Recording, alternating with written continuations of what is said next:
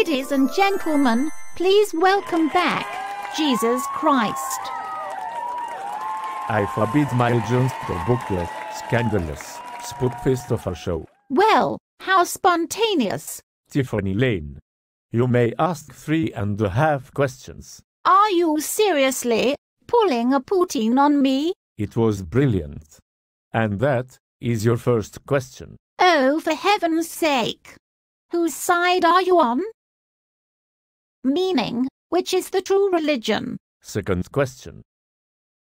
I hate war. Mankind was supposed to love, not hate. Love. All these souls in heaven, before their time. It's ridiculous and sad. I'm so sick of wars. But, you're Jesus. Surely you can make it better? That's your third and fuck this place.